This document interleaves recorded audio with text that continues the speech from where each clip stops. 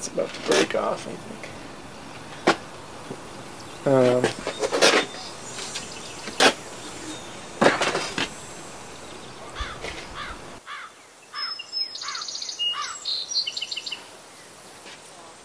since you guys have been here, that one fell completely onto the one below it.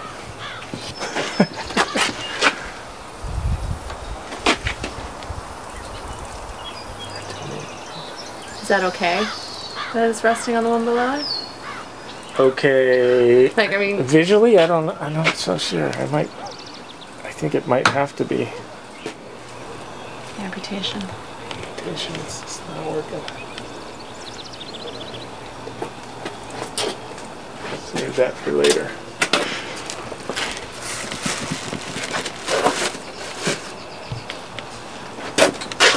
Most of my adult life I've been living here during a kind of boom and bust cycle.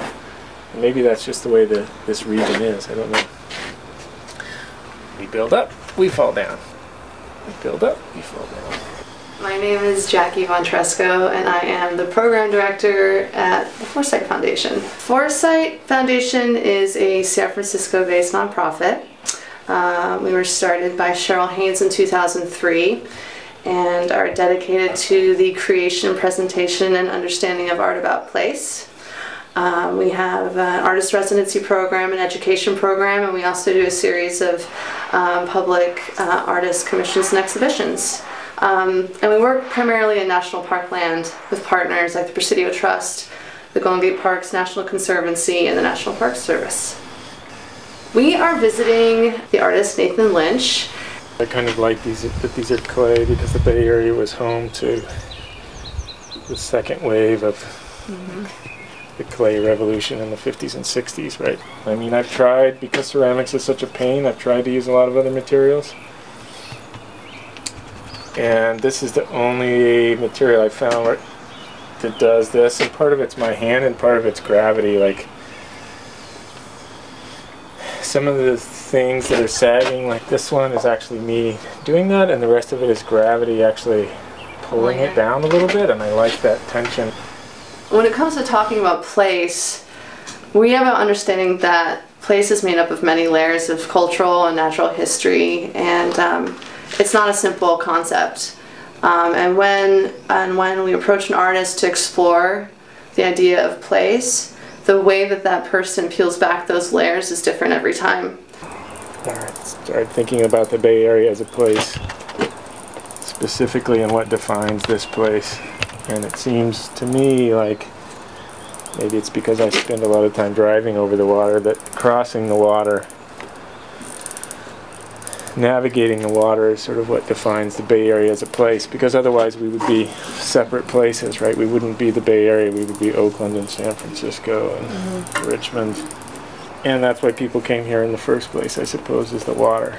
So the water seemed like a major defining characteristic. Just suggesting that we look for markers. Making these big markers is an example of a navigational system that's used on the water.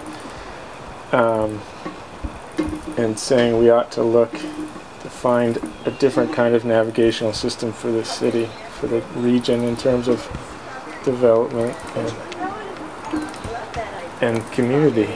Um, strange thing about making these particular sculptures is I can't see them all.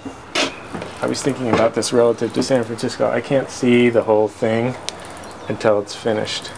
Mm. Like I see the base with part two and part three, and then I see part three with parts four and five. And it's almost like the way the city's developed. There, we try to plan for zoning and certain scale of buildings and certain neighborhoods, industrial zones, but there are other things that happen along the way that we didn't necessarily plan for, I guess. Well, there's a precariousness, in not in John, not just the way that these look though, but in, in the way that the material behaves. I mean, it's part of the process too, right? Uh, yeah. They're definitely, yes, they're definitely precarious when they're being constructed.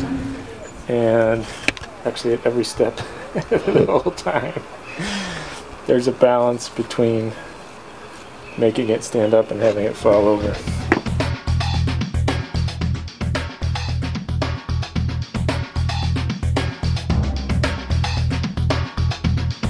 Bay Area Now.